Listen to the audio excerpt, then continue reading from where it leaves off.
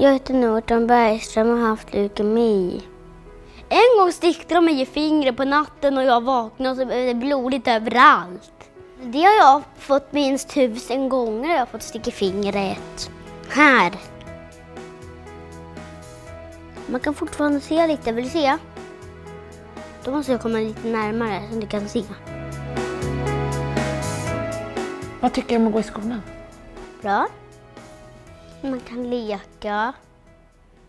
Bygga lego. Leka Star Wars. Vad var det dåliga med att vara så sjuk?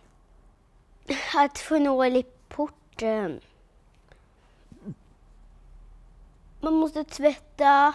När man är klar så måste man lägga en sån där grej. Och så var det obehagligt att ha såna där grejer på ryggen och ta nål i ryggen också. Där det var vitt på sidorna och genomskinligt i mitten. Och så brukar man nästan dra bort lite skinn när man tar bort den. Så har man bort lite skinn också. Igår så sa fröken att man inte fick leka sådana pang-pang-lekar. Fast jag lyssnade inte. Jag fortsatte ändå. För att en timme efter så gick fröken hem. Och då, hon är sjuk jag ner genom golvet.